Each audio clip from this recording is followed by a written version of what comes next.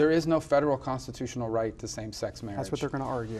And, and there isn't such a right. It, it, no, you would have to really have a ridiculous and absurd reading of the U.S. Constitution to reach the conclusion that people have a right to marry someone of the same sex. There is no such constitutional right. You know, handing up this and saying this glass of water is a glass of beer. Well, you can call it a glass of beer, but it's not a glass of beer. It's a glass of water.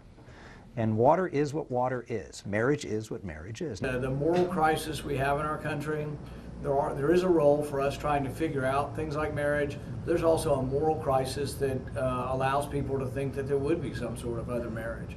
Um, but my hope is the U.S. Supreme Court will do that. If they don't, uh, the only other viable option out there is to support a constitutional amendment, which I would. I support the federal marriage amendment. I am proud that in Louisiana we define marriages between a man and a woman. You vetoed a gay marriage bill in New Jersey. Uh, if another one should make it to your desk, I gather this doesn't change your opinion on that. No, I'll, I'll veto it. In my state, we're not going to change the traditional definition of marriage. And I would support the traditional definition of marriage not out of hate, but if I believe that I think that's just best for society. The modern Democratic Party has become so radical, so extreme,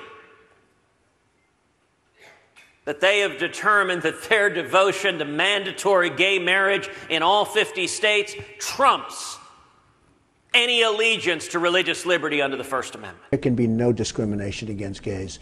I'm against gay marriage. I took a lot of heat for that. Of course, gay people should have the same rights as everyone else, but they don't get extra rights. They don't get to redefine marriage. They are not required to redefine marriage. If we reject his hand of blessing, we will feel his hand of judgment. Gay marriage, are you changing your position at all? No, I believe in traditional marriage. Okay. There, there are numerous reports that you're telling people privately that you are a moderate, but then No. public.